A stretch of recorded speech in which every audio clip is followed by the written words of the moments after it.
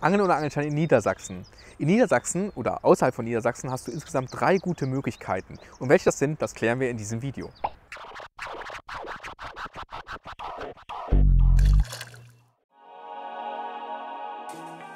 Die erste Option, die du hast, ist das Angeln mit dem Perso ohne Angelschein. Welche Gewässer davon betroffen sind und wie das Ganze funktioniert, haben wir dir in der Infobox verlinkt. Die zweite Option, die du hast, ist das Angeln in den Niederlanden. Hier kannst du auch ohne eine Prüfung angeln. Du musst äh, dir einen sogenannten Wisspass kaufen, den kannst du online bestellen. Dauert 10 Minuten, kostet ab 30 Euro, also eine ganz tolle Möglichkeit. Wie das Ganze funktioniert, haben wir dir in diesem Video erklärt. Eine dritte Option ist das Angeln und Angelschein in Schleswig-Holstein. Hier kannst du beispielsweise am Meer angeln, ohne eine Prüfung machen zu müssen. Wie das Ganze funktioniert, haben wir dir in diesem Video erklärt. Das sind wirklich drei tolle Möglichkeiten, die du hast, um mit dem Angeln sofort zu starten, ohne eine Prüfung schreiben zu müssen.